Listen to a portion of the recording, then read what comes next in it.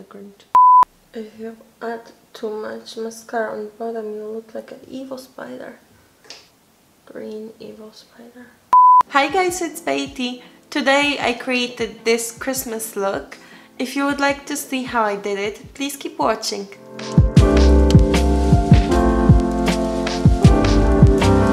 I'm going to start with the eyes and I'm using an eyeshadow primer. Now I'm going to use this green eyeshadow. So I'm just going to start by packing this eyeshadow all over the eyelid.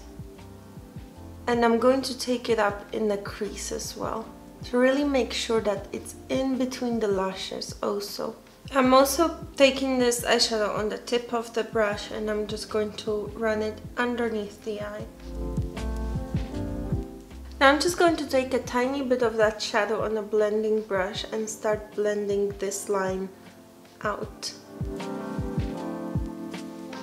And the reason why I'm taking a tiny bit of the eyeshadow with the brush and not using it clean is just because this shadow is so dark. It's easier to blend it with a little bit of the eyeshadow on your brush. Gonna make the transition easier. Just make sure you didn't add the eyeshadow really high up initially because then you won't be able to blend it or you will blend it but up to the eyebrow and we don't want that. Unless you do want that. Look like Grinch for Christmas.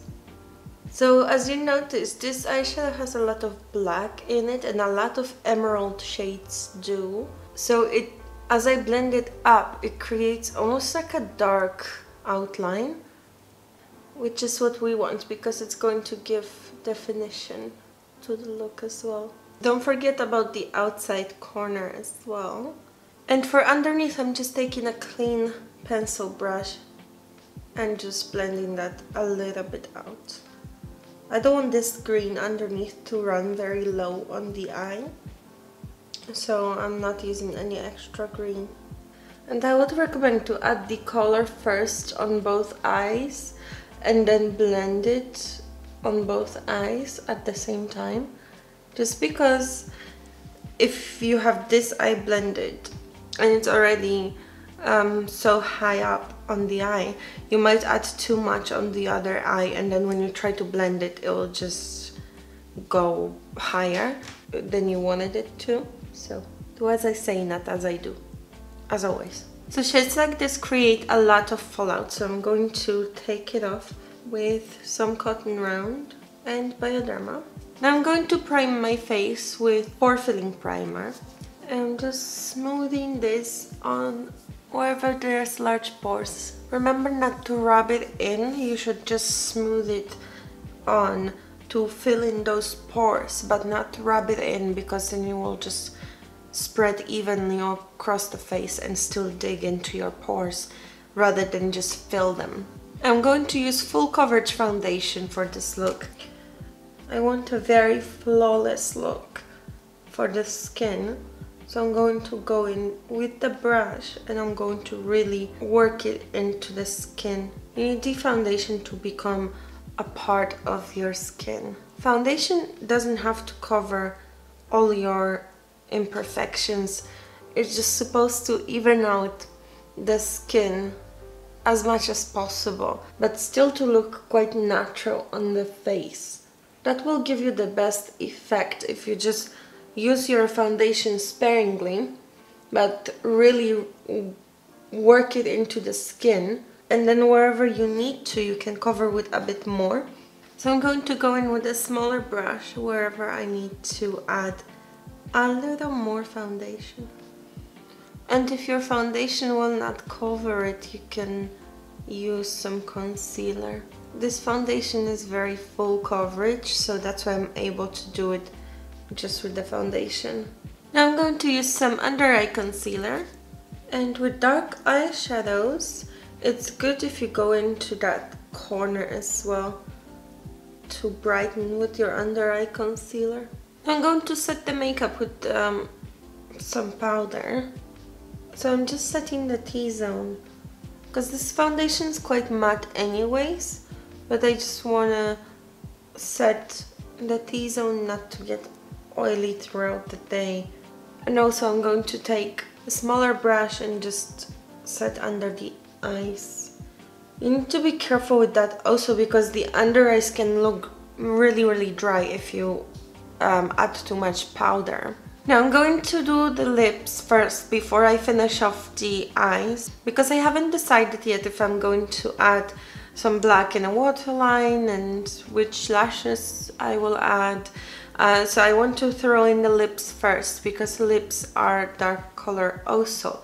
So it's good to first put that color on and then assess how much more makeup do you need on the eyes. So I'm using a lip liner first. I think I want to make the lip shape like a triangle cupid's bows.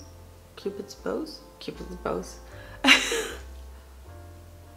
so if you use short strokes and go very slowly, little at a time, it will be much easier to um, get the shape that you want and then correct the shape because if I would just draw a straight line really fast then it might be completely not what I want for this look. And uh, you have to erase it. You have to take off the whole foundation.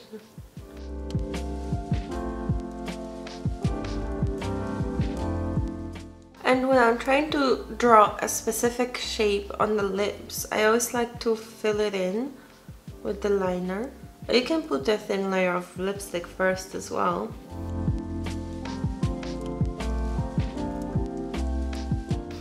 as you fill it in, you have a better an idea of where this shape is going and how you want to finish up. Okay, so this is the shape that I'm going for. And now I'm going to add the lipstick. So I'm just going to add it straight from the bullet. But then I need to grab a lip brush for the outline because since I spent so much time on creating a specific shape for the lips, I don't want to just go over with a lipstick and mess it up. So I'm not going all the way to the edges where the liner is just because the liner will keep the lipstick on for longer than if it would be just a lipstick on its own. And I definitely don't have perfect lips, so putting on a red lip when I want it looking perfect, it just takes me ages. So normally I just a red lip and then I just, you know, give up on the rest of the makeup and just add a shiny sparkly shadow and lashes. But not this time. I'm going to curl my lashes. I'm gonna apply some mascara. And I'm going to add some fluffy lashes as well. If you would like to know how to apply false lashes, I do have a very in-depth video about that and I will link it for you in the end. Now that my lashes are on, I think I need a little bit more definition on the corners here.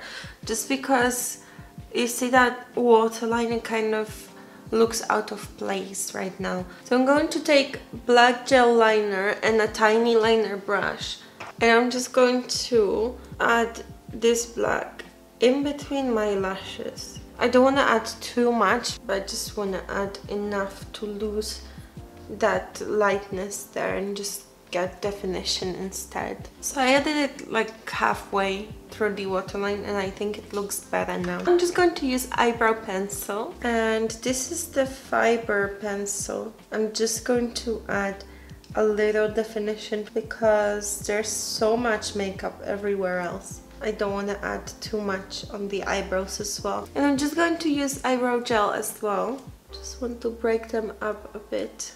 I think once the eyebrows are gelled and just filled in a tad, this look gains a little bit more modern quality. Whereas if I would add a very heavy brow to this, it would look very dated. And now for contouring, I'm going to use this palette. So I'm just using the tiniest bit of contour. And I'm going to use the highlight from that palette as well. I like this highlight because it's not very strong so for this look it will work perfectly because everything else is really strong so I don't want to add strong highlight as well and then just be a disco ball. That happens. I picked up some of that highlight on a small pencil brush as well. Just going to add it into the corner of the eye. Very subtle difference, but it kind of finishes off everything. And that is the finished look. I hope you guys enjoyed. If you did, please hit the thumbs up. For more makeup tutorials and more Christmas and New Year's Eve looks, please subscribe to my channel.